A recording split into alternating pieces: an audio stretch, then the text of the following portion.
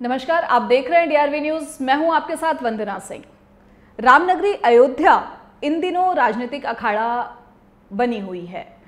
खासकर महाराष्ट्र की राजनीति में राजनेताओं का आपसी रंजिश के कारण ये पावन नगरी चर्चा का विषय बनी हुई है। राज ठाकरे के अयोध्या जाने के ऐलान के बाद अब आदित्य ठाकरे ने भी अयोध्या जाने का ऐलान कर दिया है। इन लोगों की आपसी रंजिश के कारण अयोध्या में एक तरह का पोस्टर वॉर छिड़ा हुआ है। हालाँकि प्रशासन ने शिवसेना और मनसे के होर्डिंग्स को सड़कों पे से हटा दिया है। शिवसेना की होर्डिंग्स में मनसे प्रमुख राज ठाकरे के अयोध्या आगमन को लेकर कटाक्ष किया गया था।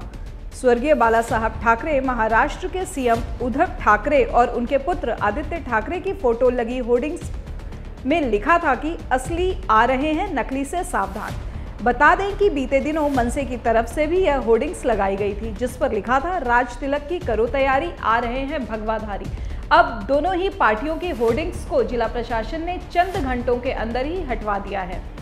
शिवसेना ने कल पोस्टर लगाए थे। इन पोस्टर में लिखा है, असली हिंदू की हुंकार सुनने के लिए रैली में आना ही चाहिए। शिवसेना ने राज ठाकरे की पार्टी का नाम लिए बिना उन पर हमला बोलते हुए कहा कि असली आ रहे हैं, नकली से आप सावधान हो जाइए। आपको बता दें कि एमएनएस प्रमुख राज ठाकरे ने मस्जिदों से लाउडस्पीकर हटाने के मुद्दे पर आंदोलन खड़ा किया है। उनके निशाने पर शिवसेना पार्टी और उद्धव ठाकरे हैं। भगवे रंग की शॉल ओढ़कर राज ठाकरे खुद को हिंदुत्व का नया पोस्टर बॉय बता रहे हैं। साथ ही उनकी पार्टी उन्हें हिंदू जननायक के तौर पर प्रस्तुत कर रही है। बता दें 14 मई को होने वाली उद्धव ठाकरे की रैली में राज ठाकरे और बीजेपी दोनों निशाने पर होंगे।